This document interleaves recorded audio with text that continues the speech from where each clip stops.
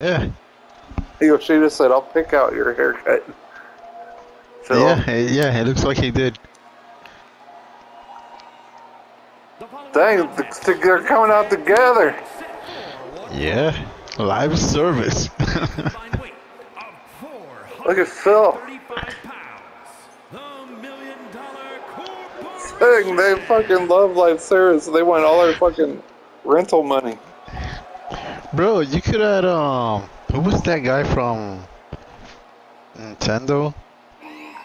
Who represents Nintendo? Uh, Reggie. Reggie. Either him or the guy that created Mario. I forgot his name.